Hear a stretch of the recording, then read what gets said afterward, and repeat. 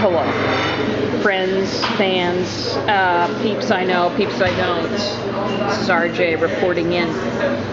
It's a very special day. Today I'm in Vienna, uh, which is uh, kind of a music town, uh, theater, architecture, art.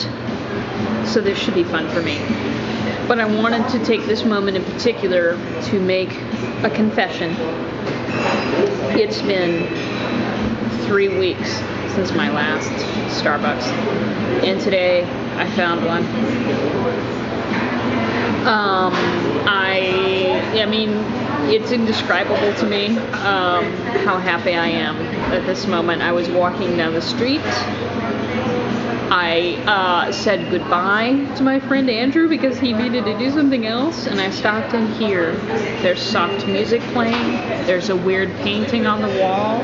I have just enjoyed a really great sandwich. I probably couldn't pronounce it for you, nor could I tell you what was in it. I think there was chicken, but it was reasonably priced and a large mug of my favorite venti non-fat latte. So could this day get better? Probably but I can't see it.